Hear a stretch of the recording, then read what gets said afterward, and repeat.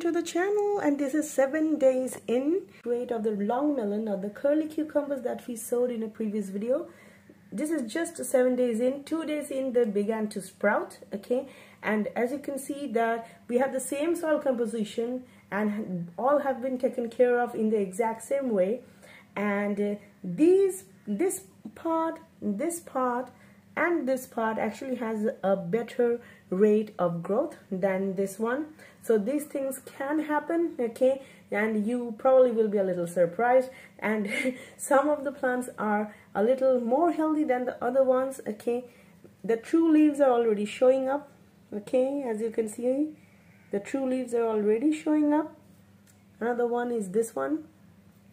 It looks a lot more healthier than others true leaves are also showing up in this one.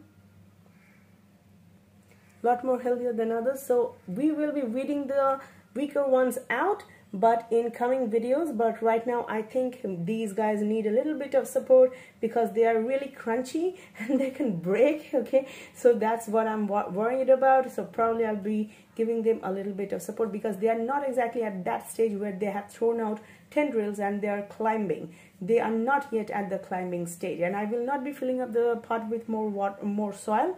So I hope you guys enjoyed this video. I will be back with another update to tell you guys how many of these actually survived. All right bye for now